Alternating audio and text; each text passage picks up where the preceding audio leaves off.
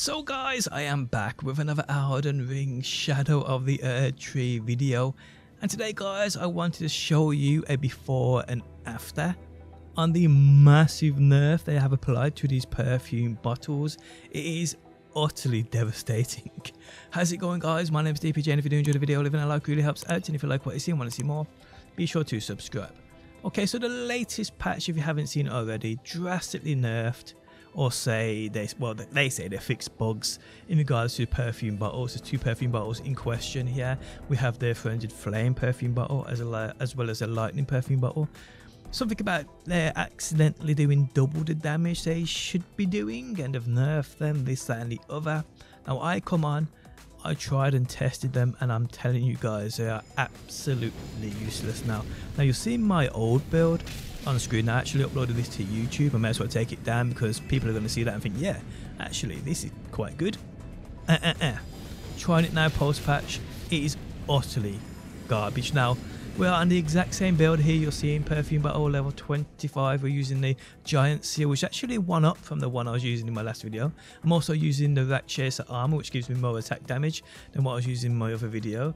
Yeah, but the exact same talismans, the same tears in my wondrous physick and we're coming to one of the same enemies I will test the build out on. I'm just going to go up behind him. I'm going to apply all my buffs. I'm going to get closer to him and apply my buffs right next to him. So for sure none of them run out. So let's just do this guys. We may as well start with the tears because they last three minutes.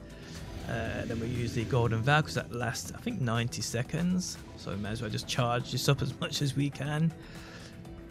We're going to use the Howl of Shabriri and give, give ourselves that madness to kick in with our talisman and our helm that we are wearing.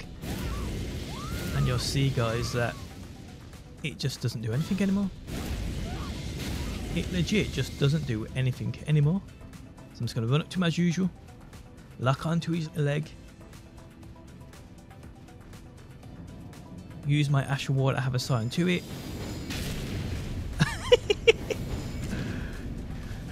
Oh my it's like I'm a new player. It's like I'm a new player using a new, new build and it's just not doing anything. This was one-shotting before. Basically one-shotting. Now if you, if you swear at the floor, it doesn't even do anything anymore. I mean, oh my days people. I'm getting slapped by a dude I could one-shot before. I mean, come on. Come on, there we go, there we go. Let's move on to the next guy now.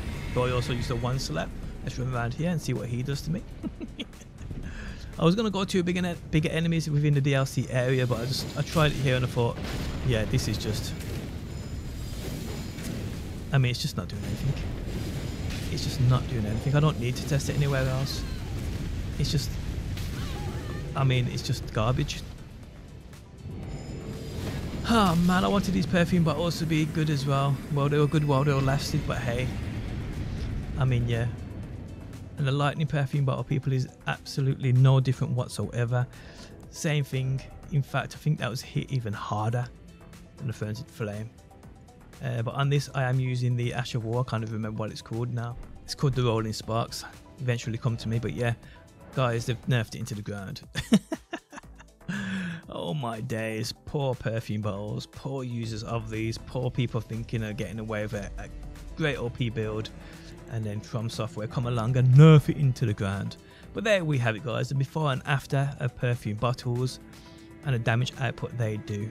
Guys, if you enjoyed the video, leaving a like really helps out. If you like what you see want to see more, be sure to subscribe and hopefully guys, I will see you on that next one.